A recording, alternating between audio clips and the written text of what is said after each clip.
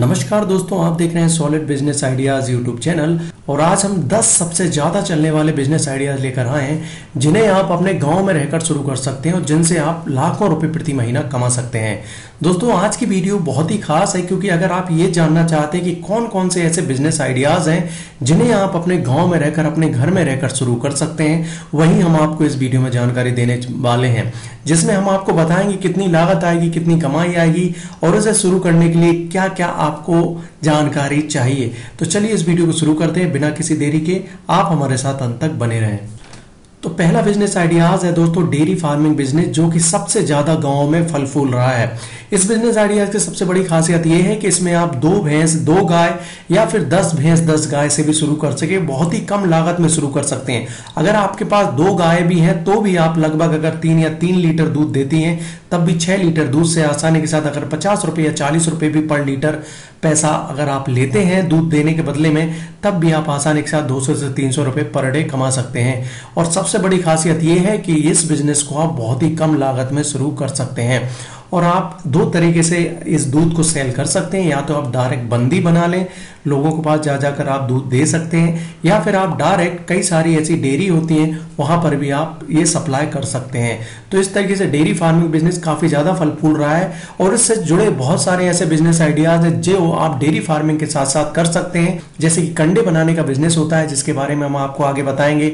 खाद बनाने का बिज़नेस होता है, वो भी आप इससे जुड़ा कर सकते हैं। बहुत सारी खासियतें इस बिज़नेस आइडियाज़ के इसीलिए ये बिज़नेस सबसे ज़्यादा गाँव में चलता है। अब बात कर लेते हैं दोस्तों, किराना शॉप बिज़नेस आइडियाज़ दोस्तों, गाँवों से शहरों की दूरी बहुत ज़्यादा अधिक होने के कारण लोग गाँवों से शहरों में सामान लेने के लिए नहीं जा पाते हैं और कई बार ऐसी परिस्थितियाँ हो जाती हैं जिससे कि वो शहरों में नहीं जा पाते हैं। तो किराना शॉप अगर आप गाँव में खोल लेते हैं, तब भी आप इस बिज़नेस काफ़ी अच्छा मुनाफा कमा सकते हैं। वो सारी चीज़ें आप आपकी दुकान में रख सकते हैं, जिन्हें लोग शहरों में जाकर लेते हैं। तो इस तरीके से किराना शॉप आप बहुत ही कम लागत में शुरू कर सकते हैं। आप स्टार्टिंग कर सकते हैं पच्चीस हज़ार का सामान लेकर, पचास हज़ार का सामान लेकर, और उसमें अगर बीस से तीस परसेंट का मुनाफा भी देंगे, तब भी आप आसानी के साथ बीस से तीस हज़ार पर महीना कमा सकते हैं। ये बहुत ज़्यादा प्रॉफिटेबल बिज़नेस आइडियाज़ है, जो कि गाँव में चलता है। बात कर लेते हैं दोस्तों, अगला बिज़नेस आइडिया जो कि पशु आहार बनाने का बिज़नेस है। दोस्तों, अगर गाँव का बात करें तो पशुओं के बिना गाँव का कोई आधार नहीं है। हर एक घर में लगभग पशु ज़रूर होते हैं। तो अगर पशु हैं तो उनको अच्छा खाना खिलाने के लिए पशु आहार की ज़रूरत ज़रूर पड़ती है, जैसे कि खली है। कई तरह की घास वगैरह रहती है, खली है, ये तमाम तरीके की चीज़ें पशुओं को खिलाई जाती हैं। तो अगर आप गाँव पर रहते हैं और गाँव में अगर ये बिज़नेस शुरू करते हैं, तब भी आप इस बिज़नेस में बहुत अच्छा मुनाफा कमा सकते हैं। इस बिज़नेस की सबसे बड़ी खासियत ये है कि जिसमें जो जो चीज़ें आपको लगेगी, जिससे कि पशुओं के दूध देने की क्षमता बढ़ती है या पशुओं की ताकत बढ़ती है, उस, वो चीज़ें आपको आपके पशु आहार में मिलाना होता है और इसके बाद आप पशु आहार आपके गाँव में बेच सकते हैं। और इस बिज़नेस की सबसे बड़ी खासियत ये है कि इस तरह की कि आप अगर देखा जाए तो पैकिंग करके ऑनलाइन भी पशु आहार बेच सकते हैं, ये भी काफ़ी ज़्यादा अब बिज़नेस चलने लगा है। बात कर लेते हैं अगला बिज़नेस आइडिया जो है गोबर से किस तरीके से आप बिज़नेस शुरू कर सकते हैं। दोस्तों, इस तरीके के कंडे आप ऑनलाइन बेच सकते हैं, इस तरीके की लकड़ी भी आप ऑनलाइन बेच सकते हैं आप आपके मार्केट में भी कई सारी ऐसी शॉप्स रहती हैं, वहाँ पर आप बेच सकते हैं। इन कंडे और लकड़ियों का बहुत ज़्यादा महत्व है।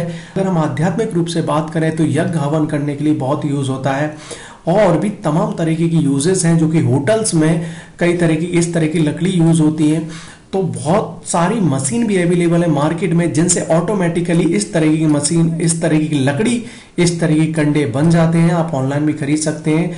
और इस बिज़नेस की सबसे बड़ी खासियत यह है कि आप डेयरी बिज़नेस के साथ शुरू कर सकते हैं। जो भी पशुओं का अपशिष्ट रहता है, उनसे ये बनाए जाते हैं कंडे, और उन कंडों को बनाकर आप आपके गाँव में भी बेच सकते हैं, शहरों में भी बेच सकते हैं, और साथ में ही आप ऑनलाइन भी बेच सकते हैं। एमेजोन और फ्लिपकार्ट वेबसाइट पर भी आप आसानी के साथ ये गोबर से बने हुए कंडे बेच सकते हैं।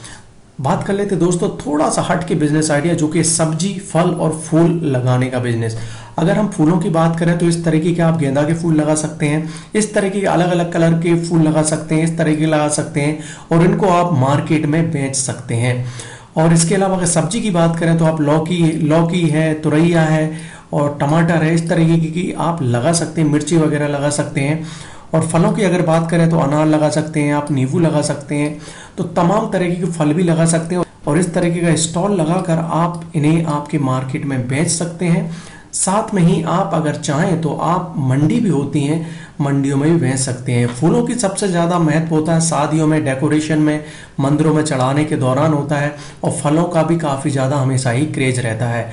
आप चाहें तो ये तीनों ही चीज़ें डोर टू डोर भी लोगों को सप्लाई कर सकते हैं, जिससे कि लोगों को एक अच्छा खाना मिलेगा अच्छा फल फ्रूट मिलेगा और बिना किसी केमिकल का फल, फूल, सब्ज़ी मिलेंगे।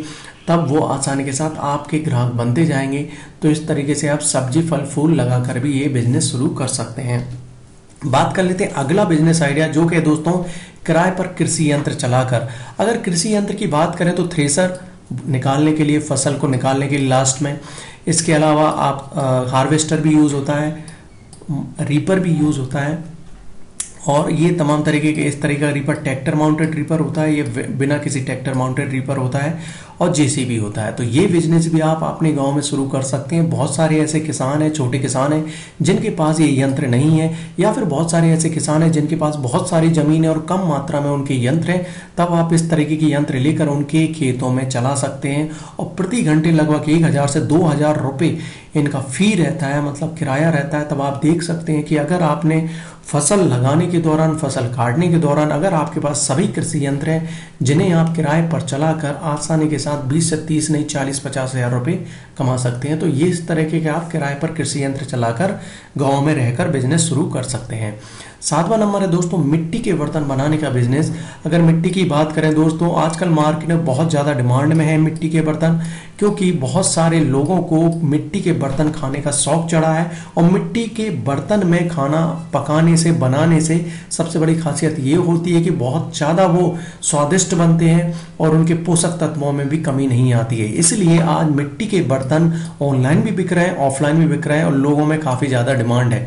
तो अगर आप इस तरह के बर्तन बनाना चाहते हैं तो हाथ से भी बनते हैं। साथ में इस तरह की मशीन भी मार्केट में पाँच से छः हज़ार में मिल जाती है। तो इस तरीके से आप मिट्टी के बर्तन बनाकर भी ऑनलाइन या ऑफलाइन आपके शहरों में बेच सकते हैं, आपके गाँव में बेच सकते हैं। अब बात कर लेते हैं दोस्तों, अगला जो पॉइंट है खाद पेस्टिसाइड और बीज। देखिए, बीज जो फ़सल बोते हैं, उसमें ज़रूरत पड़ती है।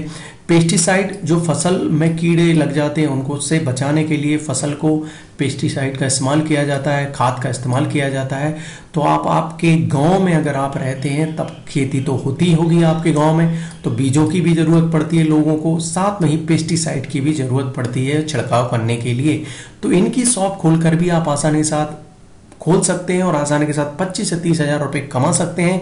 और इस बिज़नेस की सबसे बड़ी खासियत ये है कि आस पास के जितने भी गाँव हैं, उनसे भी आप कनेक्टेड हो सकते हैं, जिससे कि आपकी बिक्री ज़्यादा होती जाएगी और कमाई भी ज़्यादा होती जाएगी। अब बात कर लेते हैं इंटीग्रेटेड फ़ार्मिंग मॉडल पहले मैं आपको बता दूँ कि इंटीग्रेटेड फ़ार्मिंग मॉडल क्या होता है? एक तरह की फ़सल से दूसरी फ़सल को फ़ायदा होना। ये आपके पास खेती है, आपने फ़सल लगा ली, साथ में आपके पास काऊ है या गाय है, भैंस है। तो जब आपने फ़सल लगाई है तो फ़सल में खाद बनाने के लिए आप इनके गोबर से खाद बना सकते हैं, जो कि फ़सल में इस्तेमाल हो सकती है। इसके अलावा अगर देखा जाए तो गायों को खिलाने के लिए जो भी हमारा फ़सल है, उस फ़सल से लास्ट जो प्रोडक्ट बनता है या फिर हरी घास रहती है, वो आप उनको दे सकते हैं। तरीके से अगर देखा जाए दोस्तों तो ये पूरी तरीके से चक्र चलता रहता है।